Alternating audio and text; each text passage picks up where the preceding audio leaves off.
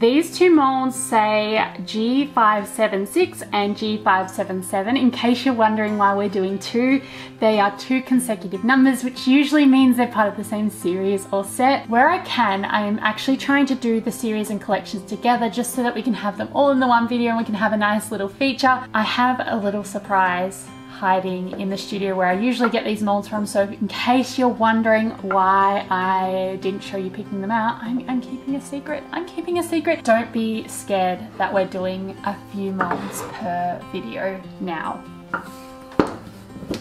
They're ready to go, so let's pour them up and see what's inside.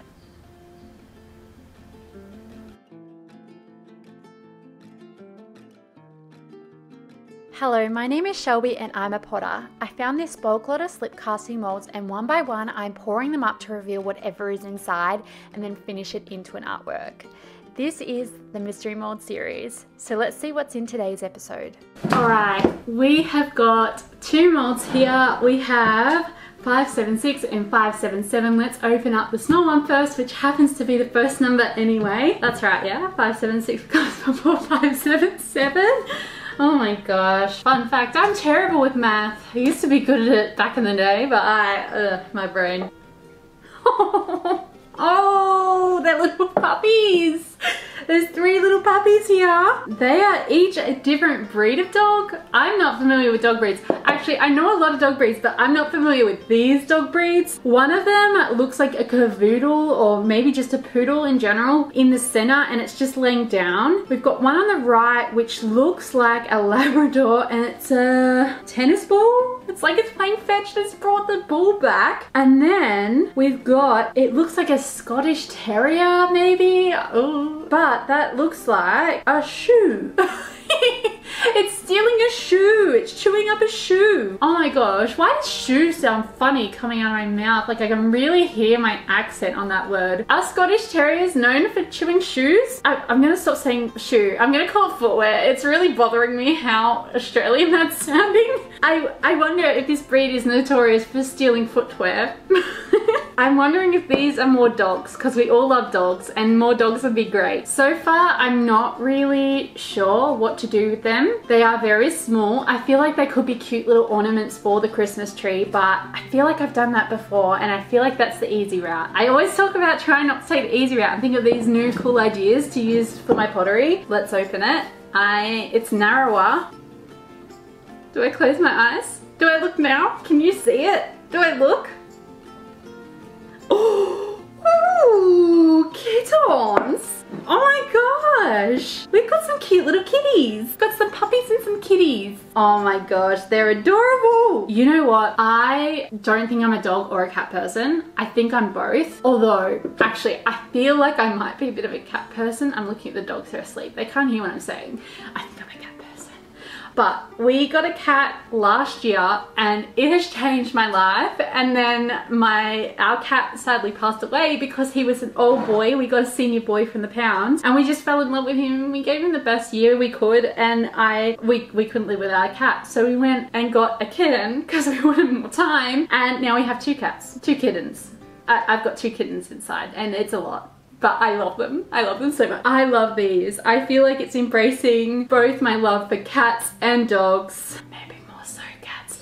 Do you know what's really funny? Is that the cats are just sitting all elegant and regal. And that's how I feel about cats, is they're just so sophisticated. And the dogs are like being destructive. Got the shoe, they're chewing the shoe. The cat's just chilling. And that's how I feel my pets is that maybe they're just being more like hidden about their destruction. And I love that for the cats. They are gorgeous. The one thing I will comment on the cat is like everything, I feel like cats get neglected in designs because this one is just the same cat, but facing the other way. I mean, maybe that's a design choice. Maybe that's salt and pepper. I don't know. But the, the puppies, they're all different and they're all different breeds, whereas this is the same cat. There's different types of cats. We could have had a rag doll, but love it, love it regardless. I have a pretty cool idea on what I want to do with these, but I'm gonna trim them up and get painting. So here is what the molds look like in case you were trying to find more information on them to source them for yourself. To be honest, these pieces are that weird size where they are a little too big for little attachments, but a little too small to sort of feature as a figurine piece. I actually have found something really cool, which I hope you will like. This piece, I am hoping to give it a really cute function at your desk or a windowsill or even just your bedside table. So I trim off the bases and I found this little alligator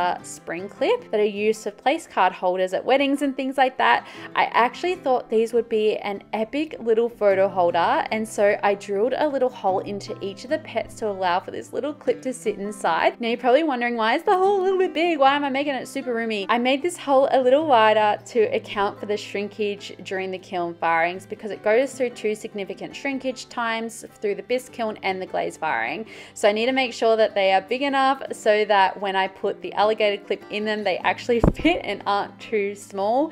They will be glued in place, so the glue should hopefully sort of like well and pull in that little hole, allowing the alligator clip to just sit in. So I want these to be these cute little photo pet pals. As they are textured and small, I wanted to keep the design something groovy that doesn't overwhelm their shape and take away from their cuteness. I want to decorate them with a design that is how I would imagine a magic potion to look like, like in a cartoon or something like when someone's stirring that big potion pot. Now these are actually a little bit reminiscent of my space penguins, which were so, so popular. So I kind of wanted to bring that back in its own way with these pet pals. The principle is really similar, but this time it's different colors with more stars. I sponged on some color and then gently added a complementary or weird color on top of it. And I just went with whatever I was feeling really. One did end up looking a bit moldy, so I changed the color so it didn't look like literal mold was growing on. It was so weird because I think because of the texture, it looked like moldy bread. I didn't show you that one because it was it actually was a bit off-putting. They then went through the bisque fire kiln and then I glazed them. I actually want to know, are you a cat or a dog person or are you both or none? I feel like it's a four-way question. Like I think everyone gets caught up on cat or dog, but I feel like you can be both. But I also feel like you can be neither. Like it's okay to be neither and you're not strange for saying that because I feel like you get like looked at funny if you say you're neither. I mentioned my cat Max before who sadly passed away a little bit before my Melbourne market because you saw my little kitten Muffin, which we are calling Feral Cheryl at the time, but her name is Muffin now. And I wanted to share a nice little story about Max because we actually never intended to get a cat. We actually had a lot of mice. Like we had a lot of mice hanging around. We wanted we didn't want to like kill them. We wanted them like get scared scared off so that they didn't come here. So like let's get a cat.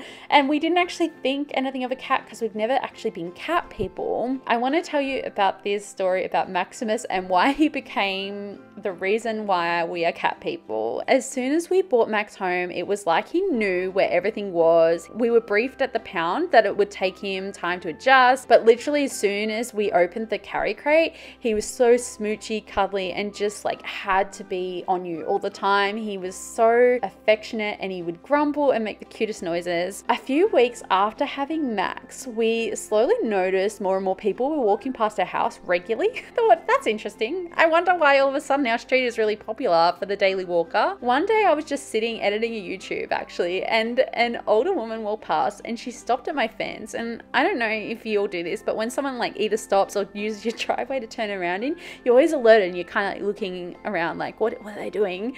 So I'm looking at her through the window. She stops and puts both arms in the air and starts waving her hands up and down, like clapping them together, like you know, like this. I, I'm trying to do the sound of it. Anyway, she has this biggest smile on her face, and I was like, what the heck is she waving at? Like, why is she why is she waving at our house? I walk into the next room and I see Max. He's found this little seat in the window, and he's just sitting there with the grumpiest A week or so goes by, and my neighbor comes up to me and says, Your cat, every morning without fail, he sits in the window and says goodbye to my kids as they head off to school. My kids love your cat so much. We actually adopted one of our own, and I could not believe it. This little guy had not only encouraged more people walking down our street just to see if he was sitting in the window, but he encouraged our next door neighbors to also get a cat. Since getting the kittens, they now sit in that spot as well. The older lady came past one day and said, said, I noticed your ginger cat, he's no longer there in the window. And we had to tell her. And in that moment, we told her that we'd gotten Muffin. She gave Muffin a cuddle, and it was all happy days. And she was very sad. She was actually really sad that Max had passed away, like almost as sad as we were when he passed away. And so it was just nice that he sort of brought this community together of people walking past our house just to wave. Anyway, I actually want to know if you have a wonderful story about your pets. You know, they are such wonderful creatures and they do make our life so much brighter and better. I would love to know if you have a funny, cute, wonderful, hilarious story about your pets. Let me know in the comments. But let's get to the kiln firing. Oh my gosh. oh wow. Oh wow. Look at all the colors. They're so great. Oh, they're wonderful. Oh, the luster. The luster's just gonna pop on those. Oh, i am gonna have to do it. I'm gonna have to add some little luster stars on them. It's just gonna take that design to its finished, whoop, to its finished result. Oh, Oh, wow. I actually feel like I could have done a pink set. I don't think I did a pink set. I just did oranges and yellows and bluey ones, but that's okay. I'm still really happy with them. I just am so surprised for once I didn't do pink. Oh, amazing. Oh, I'm just gonna look at them all day. I am going to grab them out and I think we will add the luster and then we'll add the finishing touches, which will be those little photo clips so that they can be used for a Polaroid portrait of your pet. They look so bright, colourful and wonderful straight out of the kiln, but they are not finished yet. I am going to add stars to these. Instead of doing like an illustrative work like I did on the Space Penguins, I'm going to add some gold luster stars and dots to make these sort of potiony and fun and classic.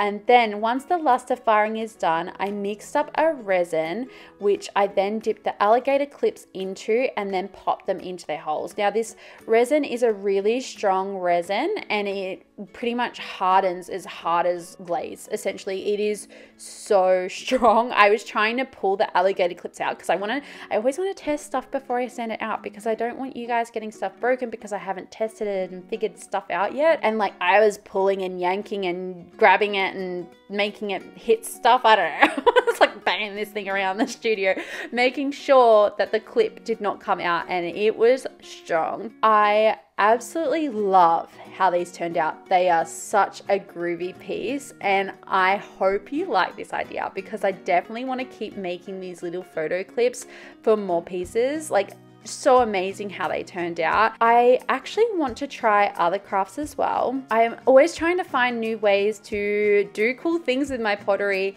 much greater than the pottery itself in a way. So like by turning things into key rings, by turning things into tea strainers, and now these photo clips. I would actually love to know if you have any cool ideas. I think I've asked this before, but I, you know, remind me if you have any cool ideas uh, that you would like to see like this. Maybe this has opened and sparked some ideas ideas for you that you would like to see, uh, let me know in the comments because I am so open to trying them in the new year. So I've got all the content already filmed for this year, but I'm hoping to try some different crafts meddled in with my pottery to see how it feels and how I can collaborate all those ideas together. Let me know in the comments. So to show their potential, I actually got some of my old Polaroid pictures. I actually don't have a Polaroid camera anymore. I really want to get one. I was looking them up but I also grabbed some little small business stickers and one from a photo booth as well because I feel like you could use these for so many little bits and pieces, maybe even like a calendar. Actually, that's a cool idea. I would love to do one of those like desktop calendars for the table, but I feel like just because of the clip, it, it just has so many uses. Like you can see, I've even got some little gum leaves in one. It just makes it so much more intentional and functional by having this clip in it. The other bonus of drilling the hole in it is it could be a really cool incense holder. There were some that we did that actually have a bit too much of a smaller hole, which I'll be taking to my next market as little incense holders. But otherwise, I am really obsessed with this idea. I thought it was genius and I hope you like it too because I haven't really seen anything like this before. Well, maybe, well, it's obvious that it's been done before, but like I haven't really seen any other pottery artists that I love to follow do this. So I feel, I feel really proud of myself. but I'd love to know what color's your favorite, what you would display in them, and if you got the advent calendar and you've just unwrapped it, what you think of your piece and if you can spot it in the video. Thank you so much again for watching another video of mine. Here is a sneak peek for the next reveal. Thank you so much for watching.